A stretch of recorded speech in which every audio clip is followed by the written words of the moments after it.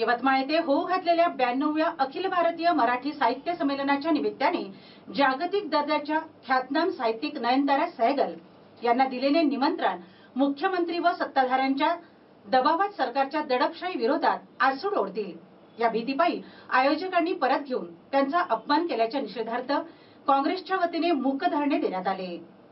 यवतमाळ येथे होऊ घातलेल्या ब्याण्णवव्या अखिल भारतीय मराठी साहित्य संमेलनाच्या निमित्ताने जागतिक दर्जाच्या ख्यातनाम साहित्यिक नयनतारा सैगल यांना दिलेले निमंत्रण मुख्यमंत्री व सत्ताधाऱ्यांच्या दबावात सरकारच्या दडपशाही विरोधात आसूड ओढतील. या भीतीपायी आयोजकांनी परत घेऊन त्यांचा अपमान केल्याच्या निषेधार्थ सकाळी अकरा वाजता ते दुपारी दीड वाजेपर्यंत महात्मा ज्योतिबा फुले यांच्या पुतळ्याखाली आझाद मैदान जवळ मुकधरणे आंदोलन करण्यात आले. यावेळी आमदार डॉक्टर वजाहत मिर्झा माजी मंत्री वसंतराव पुरके माजी आमदार वामनराव कासावार कीर्ती गांधी राहुल ठाकरे बाळासाहेब मांगुळकर बाबासाहेब गाडे पाटील अरुण राऊत माधुरी अराटे